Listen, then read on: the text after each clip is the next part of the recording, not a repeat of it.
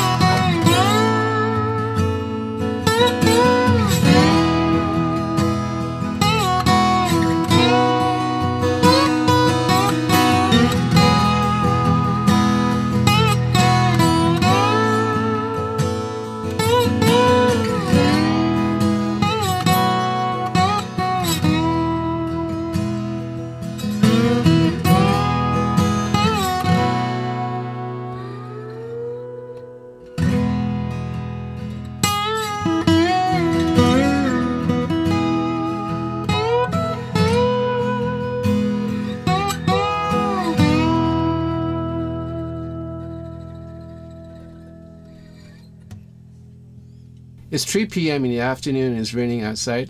You know, what joy could a man ask for other than playing a beautiful guitar, beautiful sounding guitar in this afternoon? This is the Martin D18 uh, 1937 Authentic Series. Now, everything is made or rather constructed to cop the feel or rather to duplicate what it is like for a 1937 D18. Now, mind you, the D18 in 1937 cost about 18 bucks. this guitar costs a whole lot more than that. But other than that, let's go through the appointments. You have a Adirondack spruce top. Uh, this is the shaded finish, really nice. I, I love Martins with this shaded uh, finish, and it, it's it's just yeah, just different. You have mahogany side and back, as well as mahogany neck. Right. You have a Waverly nickel uh, open back tuners with a oval pack, really nice. You have ebony fretboard with ebony bridge. We call it heel cap. Ebony bridge pins. The nut is fossilized ivory, so is the saddle. Interesting. Right. Um, now the neck is really interesting. This is authentic 1937 Baron heel uh, design. It's very different from the D18 that I played, but it's really comfortable. I yeah, I, I, I find it was like a little bit more thicker than the, the D18 that I play, especially the more Deluxe, but this is really comfortable. Yeah, just slightly thicker, right? Um, you have nice rosette. No um, volute, nothing like that. Simple. So the guitar features uh, Adirondack spruce uh, X bracing forward, forward shifted, and that explains the sound. This guitar is so full sounding. Know, the, there is a difference between the, the, the rosewood back inside as opposed to the mahogany, and with the Adirondack spruce top for this one, this guitar is just so full, you know, it just fills up the room. nice. It's, it's, a nice guitar. You know, it's, it's a nice sounding guitar, and um, I have to mention the uh, aroma that emits from this guitar. You know, once I open up the case, this room's a Yankee Candle showroom now because the uh, aroma that permeates it is like amazing. You know, it just smells good, tastes good, sounds good. What more can you complain? Nothing. You know, what's there not to like? You know, it's a crazy guitar. So the other thing about this guitar is the price. I'm gonna put a price down here, and I want to thank City Music uh, for passing this guitar to me for review. Um, tell me what you think. You know, do you own one? It's a great sounding guitar, right? Know, do you own one? And uh, put a comment in the comment section down below. And if you like this video, give me a thumbs up and uh, join this channel and be part of the Patreons to support this channel. I want to thank each and every one of them. And in the meantime, you guys stay safe, take care. I can see the light at the end of the tunnel. All right, ciao.